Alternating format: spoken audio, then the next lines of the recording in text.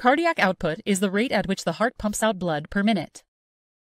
The volume that the heart pumps blood into the circulation is known as cardiac output and is dependent on the heart rate and the volume of blood circulated in each heartbeat. The left ventricle provides the cardiac output for the systemic circuit.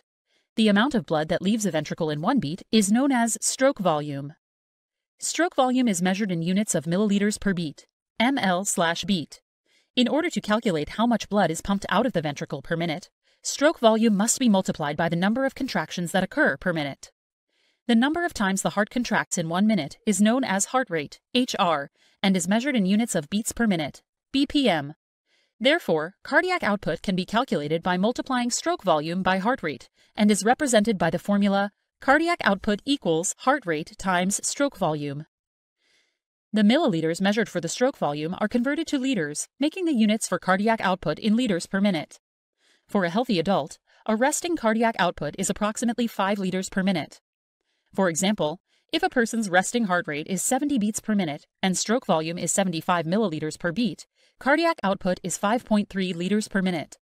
The cardiac output increases when the demand for blood flow increases. During aerobic exercise, cardiac output can increase to 25 liters per minute or even higher. Once exercise has ended and the demand for blood flow decreases, cardiac output will also decrease.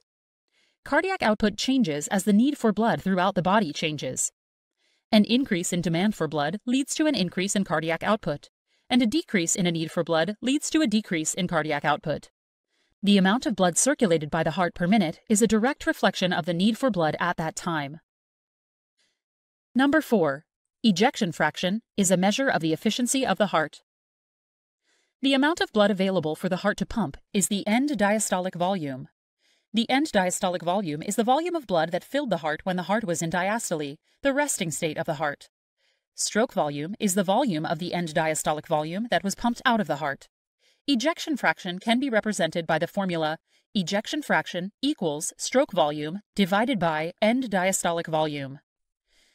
The resulting decimal is multiplied by 100 and ejection fraction is measured as a percentage. For a healthy individual, ejection fraction often ranges between 65% and 80%. Ejection fraction is a fraction of the end diastolic volume, meaning it is the fraction of blood that was ejected during contraction of the heart. If end diastolic volume remains the same and stroke volume increases, ejection fraction increases. The benefit of an increased ejection fraction is to increase the amount of blood that is pumped out of the heart in one beat. The greater the percentage of end diastolic volume that is ejected during the contraction phase of the heart, which is known as systole, then the greater the efficiency of the heart will be. To understand this concept, remember that cardiac output is dependent on the amount of circulating blood per minute. To meet this demand for blood flow, both stroke volume and heart rate contribute to ensuring cardiac output. If stroke volume is decreased, the amount of blood ejected from the heart per beat is decreased. In order to maintain cardiac output, more beats will be needed in one minute to circulate the same amount of blood. As a result of stroke volume decreasing, heart rate must increase to maintain cardiac output. However, this also means if stroke volume is increased, the amount of blood ejected by the heart increases. This would mean fewer heartbeats were needed to circulate the same amount of blood per minute. With fewer heartbeats needed, the heart becomes more efficient as less contractile work is necessary per minute to circulate blood. Ejection fraction never reaches 100%. However, there is evidence that a healthier heart has a higher ejection fraction. Furthermore, a common problem in heart failure is a reduction in ejection fraction.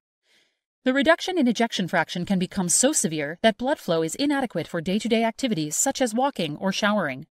With heart failure, ejection fraction can become so low, death results. Cardiologists rely on ejection fraction as a fundamental means of measuring the health of the heart.